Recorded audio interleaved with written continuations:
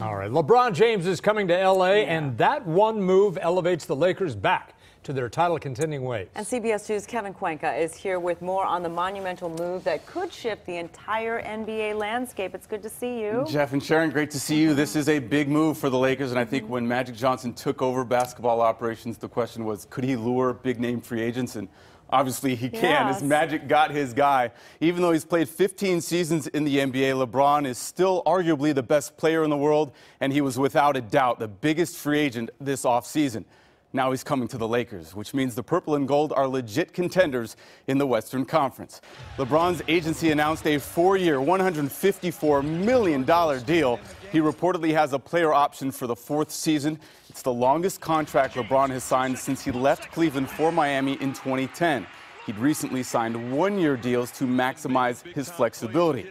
But with King James in tow for at least the next three years, the Lakers have the ability to plan past the upcoming season. This Instagram story by LeBron will have to hold us over until the contract's signed and the Lakers hold a press conference.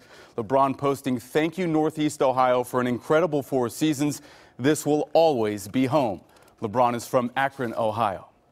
We know Laker fans are happy, but what does Kobe think? The Black Mamba sent this tweet welcoming LeBron to the Laker family with the hashtags Lakers for Life and Strive for Greatness, which LeBron frequently uses on social media. LeBron James has reached the NBA Finals eight straight years, but now he'd have to make it through the much tougher Western Conference to keep that streak alive. The Lakers are also adding Lance Stephenson and JaVale McGee with one year deals to give LeBron some help. And of course, there yeah. is time for many, many more moves yeah. for these Lakers as they bring in LeBron, and we'll see what else happens now. Right. Well, a lot of celebrities are really happy about of this. Course. I have to read this uh, this tweet from Chrissy Teigen, who says, uh, "King James, welcome to LA." She says, "Friday is Sunset Rose, laser facials on Monday. The rest of the week is running into people you don't like at Soho House."